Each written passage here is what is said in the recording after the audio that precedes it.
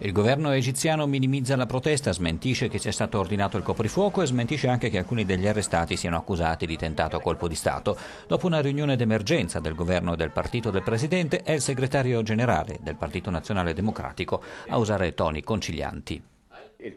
Dobbiamo rispettare la legge, permettere alla gente di esprimersi e sentirsi libera. Sono liberi di esprimere le loro richieste e noi siamo qui per rispondere ai loro bisogni. Offerta di dialogo che per l'opposizione non corrisponde però agli atti concreti, tanto che le autorità hanno fatto sapere che la grande manifestazione prevista per le prossime ore non è stata autorizzata. Abbiamo raggiunto al telefono Ayman Nur, uno dei leader dell'opposizione. Il governo dice fa la stessa cosa da 30 anni e non attenderemo altri 30. Non vogliamo il signor Sawat el-Sherif e ancor meno quelli come lui. Deve solo darci i nostri diritti, diritti che ci prenderemo comunque da soli, con le nostre mani.